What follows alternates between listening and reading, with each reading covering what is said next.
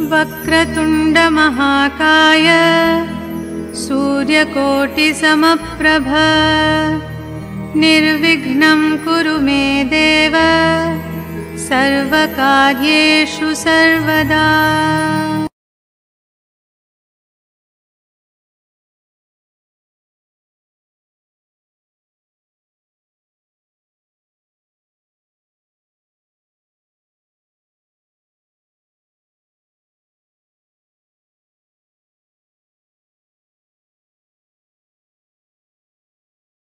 สวัสดีค่ะ ก่อนอื่นที่จะทำนายดวงชะตาในราศีต่างๆ มหาเดวีขอแนะนำกุเบมหายันตรา เปิดคุมทรัพย์จักรวาล กุเบมหายันตรานี้ เปิดคุมทรัพย์จักรวาล ใครที่เป็นหนี้ภาระเยอะ ชักหน้าไม่ถึงหลัง หมุนเงินไม่ทัน ไม่พอใช้ หาทางออกในชีวิตไม่เจอ การงานไม่ก้าวหน้า ค้าขายไม่ขึ้น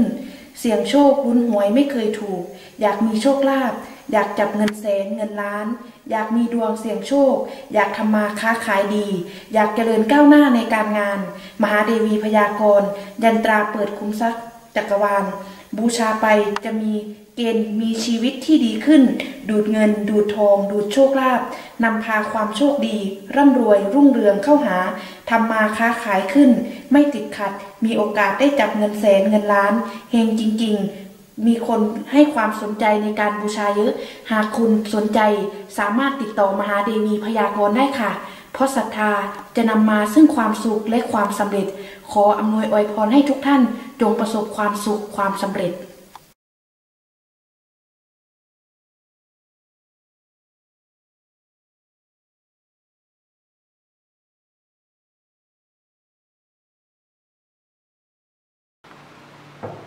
สวัสดีค่ะ มหาเดวีพยากรณ์ได้กลับมาพบกับทุกคนอีกครั้ง กับคลิปวิดีโอหนึ่งใน 12 ราศีประจำเดือนพฤษภาคม ปี 2563 คลิปวิดีโอนี้เป็นคลิปวิดีโอของชาวราศีเมษคือผู้ที่เกิดตั้งแต่วันที่ 13 เมษายน ถึง 13 พฤษภาคม จงขจัดความกลัวออกไปจากหัวใจ จงขจัดความกังวลออกจากชีวิต เดินหน้าสู้ชีวิตมีพรุ่งนี้เสมอค่ะ ด้วยวิกฤตอะไรหลายๆอย่าง บางครั้งบางคนบางสถานที่อาจจะเจอกับเหตุการณ์หลายๆ สิ่งหลายๆอย่างที่เป็นทุกข์ที่ก่อเกิดทุกข์มหาเดวีขอเป็นพลังใจให้กับทุกคนให้ก้าวผ่านพ้นไปด้วยกันนะคะ ขอเป็นพลังใจให้กับทุกคนค่ะ เราจะมาเริ่มต้นการทำนายเราชาวราศีเมษประจำเดือนพฤษภาคมปี 2563 ค่ะ ช่วงนี้ชาวราศีเมษจะเหนื่อยกับเกณฑ์การงาน มีเรื่องที่ต้องทำต้องจัดการ ต้องยืนหยัดด้วยตัวเอง ต้องสู้ด้วยตัวเอง ค่อนข้างจะมีปัญหากับเนื้อหางานเกี่ยวกับงานที่จะต้องยืนหยัดด้วยตัวเอง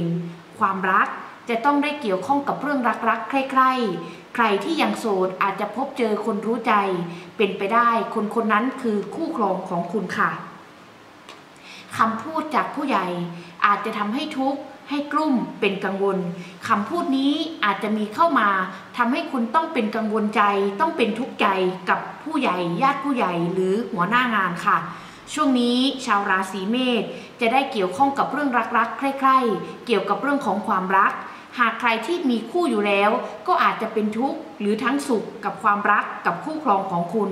หากใครที่ยังโสดอาจจะพบเจอคนรู้ใจ จะมีคนเข้ามาเกี่ยวข้องเกี่ยวพันนำความรักมาให้ค่ะ มีเกณฑ์การเดินทางไกล เกี่ยวข้องกับเกณฑ์การเดินทาง การเปลี่ยนแปลง การโยกย้าย การปรับเปลี่ยนบางสิ่งบางอย่างในชีวิต ไม่ว่าจะเป็นการงาน การเงิน ความรัก ช่วงนี้อาจจะมีเกณฑ์การเปลี่ยนแปลงค่ะ หัวใจจะมีเรื่องเจ็บปวดเกิดขึ้น ทุกสุขกับความรัก หากใครที่มีคู่อาจจะมีเกณฑ์การพัดพรากจากรากับคนรัก แต่หากใครที่ยังโสด อาจจะพบเจอคนรู้ใจ แต่คนรู้ใจคนนั้นอาจจะมีเหตุ เขาอาจจะมีเจ้าของแล้ว หรือตัวเราเป็นมือที่สามหรือความรักซ้อนซ่อนรักก็ขอให้ระมัดระวังค่ะ จะได้ร่วมงานเลี้ยง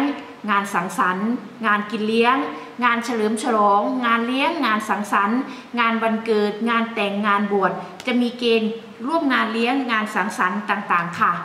ระมัดระวังสุขภาพ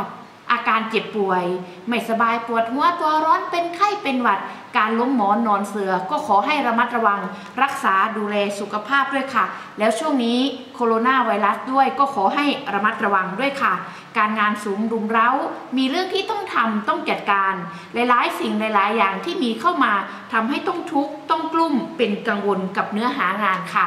จะได้เงินก้อน เงินตกเบิกเงินจากธนาคาร เงินจากแหล่งเงิน เงินก้อนใหญ่กำลังจะเข้ามาในมือค่ะ จิตใจอารมณ์แปรปรวน มีเรื่องที่ต้องคิดต้องวิตกกังวลใจ จิตใจอารมณ์ฟุ้งซ่าน คิดเล็กคิดน้อย มีหลายๆ สิ่งหลายๆ อย่างลุมเล้าค่ะ คนทางไกลจะเดินทางมาหา หากไม่เดินทางมาก็ต้องติดต่อมา อาจจะเป็นเพื่อนเป็นญาติเป็นคนรักที่อยู่ทางไกล หากไม่เดินทางมาก็ต้องติดต่อมา หรือจะได้ข่าวจากทางไกลค่ะ เรามาดูสรุปกันของชาวราศีเมษประจำเดือนพฤษภาคมปี 2563 เกณฑ์ความรักอาจจะทั้งอาจจะทั้งทุกข์และสุขกับความรัก หากใครที่ยังไม่มีคู่ อาจจะมีเกณฑ์ความรักเข้ามาเกี่ยวข้องเกี่ยวพัน